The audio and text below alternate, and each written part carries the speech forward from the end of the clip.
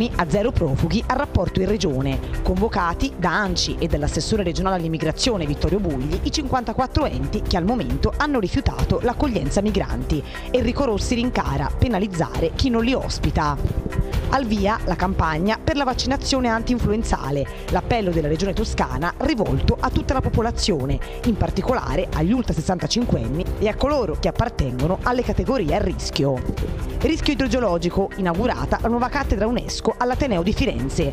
Questa cattedra, unica nel suo genere, ha osservato la direttrice UNESCO, è importante non solo per l'Italia, ma anche per il resto del mondo.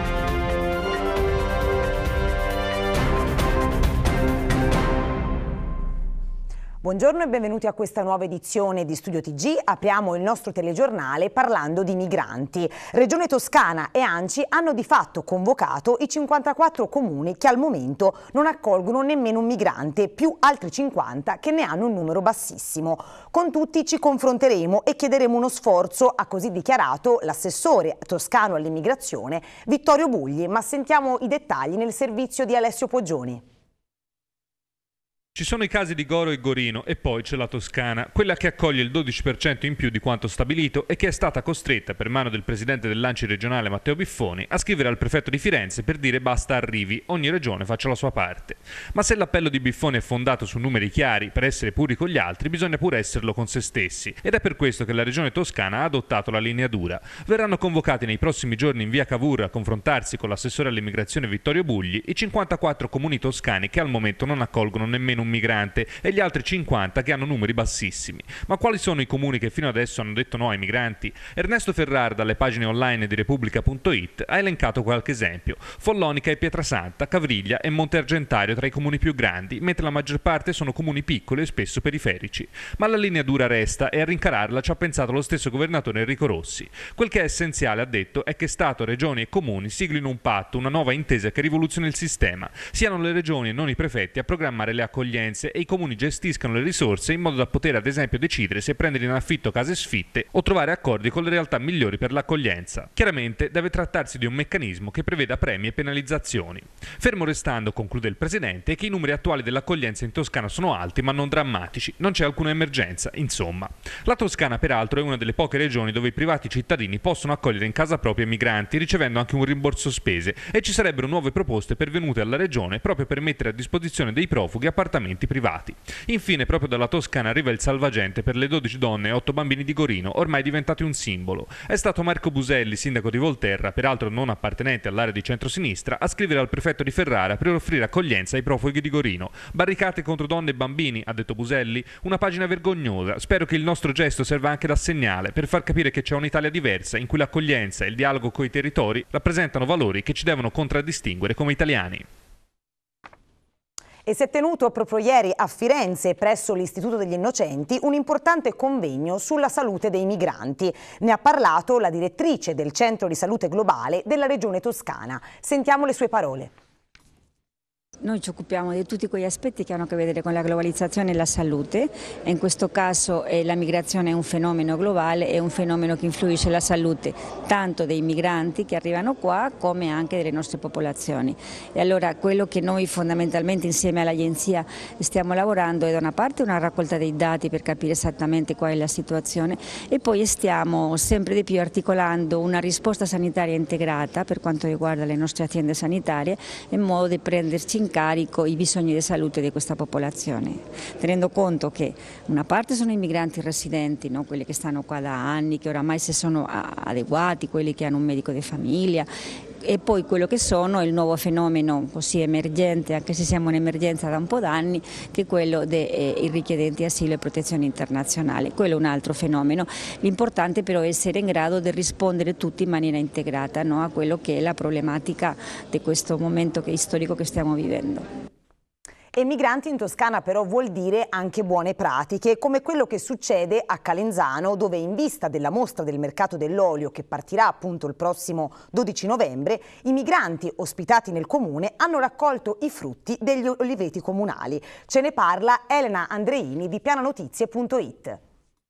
L'anno scorso noi abbiamo raccolto le olive, dopo noi siamo venuti ancora a Mbutier bottigliare. Bati è arrivato dal Togo, è uno dei richiedenti asilo che si trova a Calenzano, ospite della Caritas. Quest'anno, come già avvenuto lo scorso anno, si occuperà di raccogliere le olive nei giardini pubblici in un progetto di integrazione promosso dal comune di Calenzano insieme alla Caritas. Circa un anno fa siamo venuti in questo giardino insieme a due nostri ospiti che hanno raccolto inizialmente le olive insieme al comune di Calenzano. Dopodiché eh, si sono occupati dell'imbottigliamento e anche della vendita dell'olio. Oltre alla raccolta delle olive, i richiedenti asilo si occupano di seguire tutto il percorso che porta all'imbottigliamento dell'olio con l'etichetta L'olio buono di Calenzano. Eh, Questa idea dell'olio nasceva proprio di mettere mh, al lavoro, quindi di impegnare i ragazzi in richiesta di asilo eh, su un'opera di solidarietà per gli italiani bisognosi, per cui partendo da quello che è il nostro prodotto caratteristico, che è appunto l'olio di Calenzano, di cui il Comune possiede varie piante nei giardini, nelle scuole, in vari appezzamenti che ha, facendolo raccogliere a loro insieme a volontari, volontari nostri, creando anche socializzazione tra i ragazzi e i volontari e poi facendo dell'olio che viene venduto a sostegno eh, della Caritas di, fondo, di fondo unitario. Quindi con l'olio prodotto da richiedente asilo finanziamo dei progetti a sostegno degli italiani bisognosi.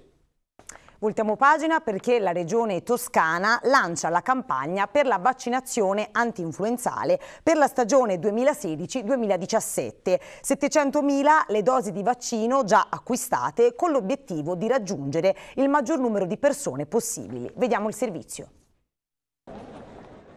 L'inverno è alle porte, l'influenza pure e in Toscana parte la campagna di vaccinazione anti-influenzale che ha come obiettivo quello di raggiungere il maggior numero di anziani e di persone a rischio, bambini e malati cronici e ridurre così del 70-80% la mortalità legata all'influenza.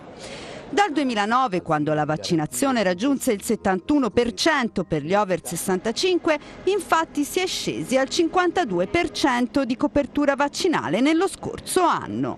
Il numero di decessi per influenza dovuto da questo calo di vaccinazioni in un anno è passato da 2 a 23 casi. Da qui l'appello della Regione a recarsi dal proprio medico nelle strutture pubbliche per farsi vaccinare. Voglio ricordare l'influenza è oggi una malattia che si ritiene eh, di minore rilevanza ma che purtroppo ancora oggi in alcuni casi eh, provoca i ricoveri in terapia intensiva e anche qualche decesso. La Regione ha acquistato 700.000 dosi di vaccino per quasi 5 milioni di euro di spesa. La vaccinazione contro l'influenza è gratuita per tutti gli over 65 e le persone a rischio. Gratuito anche il vaccino contro lo pneumococco, batterio responsabile di alcune gravi infezioni che possono colpire i soggetti più deboli. Il periodo migliore per vaccinarsi è novembre, visto che il picco dell'influenza è previsto tra dicembre e febbraio. E adesso parliamo di People Mover perché all'indomani dell'inchiesta che ha coinvolto per fatti legati a un giro di corruzione l'ex direttore del cantiere del People Mover Giampiero De Michelis e alcuni rappresentanti di Pisa Mover, il sindaco Marco Filippeschi annuncia che l'Eitner, già capofila della società privata Pisa Mover SPA, ha garantito che rapidamente sarà riconvocato un consiglio di amministrazione durante il quale saranno riassegnate le responsabilità toccate dall'indagine. Il sindaco Marco Filippeschi Filippeschi ha tuttavia precisato che il cantiere del People Mover, stazione centrale aeroporto, è nella fase conclusiva e il mezzo di trasporto è già in fase di collaudo. Adesso voltiamo pagina e parliamo di istruzione perché è stata inaugurata all'Università di Firenze la nuova cattedra UNESCO sul rischio idrogeologico, una cattedra che si, che si aggiunge alle oltre 700 che l'UNESCO promuove già in tutto il mondo. Sentiamo i dettagli nel servizio. Inaugurata all'Università di Firenze la nuova cattedra UNESCO in prevenzione e gestione sostenibile del rischio idrogeologico, la prima in Italia nel suo genere. Un corso che partirà dal prossimo anno accademico sotto la guida del professor Paolo Canuti, che si pone come obiettivo formare nuovi esperti in grado di prevenire e limitare frane ed alluvioni. Le lezioni, che si terranno solo in lingua inglese, saranno rivolte a studenti magistrali e dottorandi, che avranno la possibilità di progettare strumenti atti a monitorare e prevenire il rischio frane temporanee, nonché a prendere parte ad azioni sul campo. L'idea del corso è nata dai docenti Nicola Casagli, Claudio Margottini e Fabio Castelli. Finora abbiamo sempre lavorato come singoli, spiega Casagli, ma grazie alla convenzione con l'UNESCO potremo intervenire in una cornice istituzionale coinvolgendo anche gli studenti e infine, aggiunge, sarà più facile ottenere finanziamenti per borse di studio e la casa di cura Villa Donatello di Firenze ha realizzato e presentato il programma Viver Meglio, teso a migliorare lo stile di vita dei cittadini attraverso una serie di accorgimenti e percorsi su misura. Presente alla tavola rotonda anche il vice sindaco di Firenze, Cristina Giachi. A volte più importante delle medicine è il saper vivere o il viver meglio. Proprio così Villa Donatello, importante realtà privata tra le case di cura del Fiorentino, ha chiamato un nuovo progetto volto a sensibilizzare la popolazione a correggere le proprie abitudini alimentari e di vita, guadagnando salute ed efficienza fisica. Un progetto che trova fondamento anche nelle recenti rilevazioni dell'Organizzazione Mondiale della Sanità, che ha individuato una profonda correlazione tra stili di vita e stato di salute, soprattutto per patologie quali obesità, ipertensione, colesterolo alto, ma anche cancro, malattie cardiovascolari e respiratori diabete. Il nostro obiettivo è quello di definire un programma che aiuti le persone a cambiare il proprio stile di vita. Molti ci provano, eh, pochi ci riescono. Perché? Perché c'è bisogno di una serie di supporti, perché la dieta fai da te o la palestra o andare in giro eh, non, o difficilmente raggiunge i risultati nel momento in cui non c'è un programma che è tagliato su misura per i miei obiettivi. Il programma Donatello Viver Meglio è dedicato a tutti coloro che si sentono bene o meno, che abbiano voglia di recuperare uno stile di vita sano e migliorare le proprie abitudini già praticate. Presenti alla conferenza di presentazione anche le istituzioni regionali e comunali, quest'ultime nella persona del vice sindaco Cristina Giachi. La spesa sanitaria, ne siamo orgogliosi, è una delle nostre spese principali di amministrazioni pubbliche a tutti i livelli, enti locali e nazionali e, e, spesa, e il governo centrale. E questa spesa però ha bisogno di essere ottimizzata e razionalizzata. Allora uno stile di vita e una condotta più salubre rende migliore, più sana rende migliore e più efficiente la spesa pubblica. E a Borgo San Lorenzo si è svolto un importante corso di formazione sull'omicidio stradale alla presenza di 37 membri del Corpo di Polizia Municipale dell'Unione dei Comuni del Mugello. Vediamo il servizio. Un corso di formazione sull'omicidio stradale. Gli agenti di polizia municipale dell'Unione Montana dei Comuni del Mugello hanno partecipato all'importante aggiornamento sul tema della legge del marzo 2016. Una due giorni suddivisa tra teoria e pratica, curata dalla Scuola Interregionale Toscana Emilia Romagna e Liguria, che ha visto al centro dello studio il reato di omicidio stradale. Per il lavoro che stiamo a fare, ha dichiarato il comandante della Polizia Municipale dell'Unione Montana dei Comuni del Mugello Marco Bambi, è importante un aggiornamento costante e continuo che possa tenerci al corrente di ogni nuovo risvolto legislativo. Eh, l'obiettivo di questa esercitazione è per dar corso a molte incertezze eh, venute fuori a seguito dell'entrata de, de in vigore della nuova legge sull'omicidio stradale eh, sia per noi operatori sia per informare eh, gradualmente cittadini, conducenti e tutte le persone interessate perché la materia è molto importante, eh, anche nuova e comunque una materia che eh, si deve eh, gestire in modo molto meticoloso e con molta eh, cura e professionalità perché eh, sono previste delle pene che arrivano addirittura a 20 anni.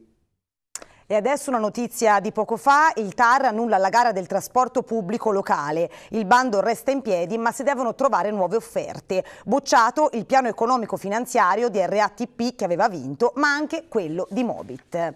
Studio TG termina qui, vi ricordo soltanto l'appuntamento di questa sera con Telegram alle 20.35 dove Alessio Poggione ospiterà Simone Gheri, segretario generale di Anci Toscana. È tutto, a tutti l'augurio di una buona giornata.